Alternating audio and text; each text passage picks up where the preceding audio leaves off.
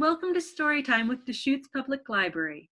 My name is Josie, and today we're going to talk about vegetables, yummy, yummy vegetables.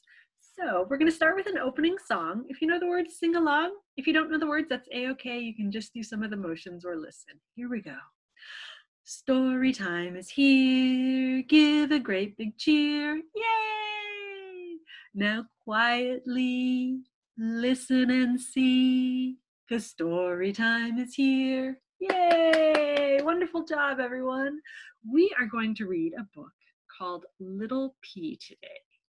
And Little Pea, I'm going to show on the screen, and I'm going to be really little up in the corner there. So, this is Little Pea by Amy Krouse Rosenthal, and today we are reading it with permission from Chronicle Books. Before I do a story, I like everyone to put their hands out in front of them, nice strong hands. Here we go. Open them, shut them, open them, shut them. Give a little clap, clap, clap. Open them, shut them, open them, shut them. Lay them in your lap, lap, lap. Nice, we're all ready to go. Little pea. This is the story of Little Pea, Mama Pea, and Papa Pea. Little Pea was a happy little guy. He liked to do a lot of things. He liked rolling down hills, for example, super fast. He liked hanging out with his pea pals. He liked it when Papa Pea came home at the end of the day. Papa Pea would fling Little Pea off a spoon high into the air, and Little Pea would scream, Again! Again! At bedtime, Little Pea liked very much snuggling with Mama Pea and hearing stories about what Mama Pea was like when she was a little pea. But there was one thing that Little Pea did not like candy. That's what you have to eat for dinner every night when you're a pea. Candy, candy, candy. Monday, red candy. Tuesday, orange candy. Wednesday, yellow candy. Thursday, purple and pink polka dotted candy. Friday, striped candy. Saturday, swirl candy. Sunday, rainbow candy. Little Pea hated all of it. If you want to grow up to be a big, strong pea, you have to eat your candy. Papa Pea would say. If you don't finish your candy, then you can't have dessert, Mama Pea would say. How many pieces do I have to eat? Five pieces and you can have dessert. Five pieces, he whined. Five pieces, they chimed. One, yuck. Two, blech. Three, blech four, five pieces of candy. Now can I have dessert? Yes, now you can have dessert, said Mama Pea and Papa Pea. Little Pea couldn't wait to see what it was. Spinach! squealed Little Pea. My favorite! Little Pea licked his dessert plate clean. It says, figure one, yum. Figure two, yum. Figure three, extra yum and they lived happily ever after. More spinach, please. There you go. That is the story of Little Pea. Now, I wanted to share a quick poem with you guys. This is a guessing game and a guessing game poem all at once. So, I have some vegetables here. So, everything I have is a vegetable. I'm going to give you some hints and you get to guess what I'm going to show you. So if there's any grown-ups, just go ahead and give yourself maybe the count of six or seven before you help with the guesses so that we have time to think about what the clues are. So this is the guess the veggie rhyme. I'm round and red and juicy too.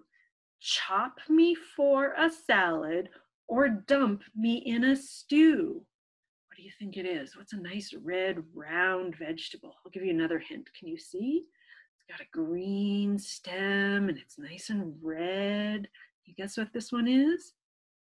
It's a tomato. This is a yummy, yummy tomato. Oh, I love tomatoes. They're so delicious. If you have bigger kids in the house, feel free to talk about if it's a tomato, if a tomato is a vegetable or a fruit. Added bonus. Okay, let's see what's next. Chop me, slice me, but keep a tissue near. I'm sometimes juicy and can bring a tear. Hmm, what vegetable can make you cry? Does anyone know? It's another round one. Ooh, what is this one? Can you guess? It's an onion. An onion's a root, and sometimes onions can be purple or white. There's all different colors of onions. Mm, I love onions, but just a little bit, not a whole bunch of onion. Okay, what's next? I have eyes for perfection to give you the best. Baked, mashed, or fried, I'll pass the test. Hmm, what vegetable do you like to eat? Baked, mashed, or fried? Hmm, let me go ahead and show you. Can you guess what this one is? Hmm, see, there's an eye. What do you think this is?